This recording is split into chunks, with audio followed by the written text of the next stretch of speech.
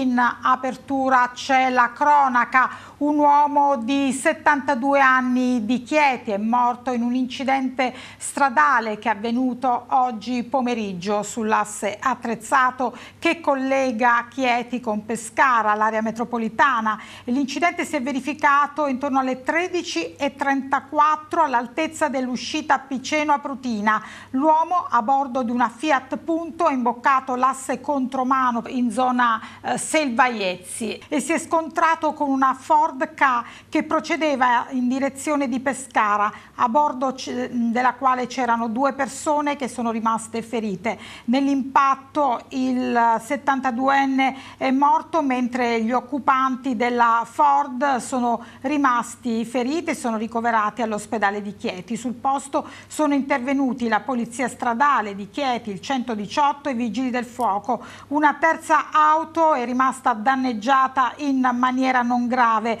e illesi gli occupanti. I tre mezzi, i tre veicoli sono stati sequestrati.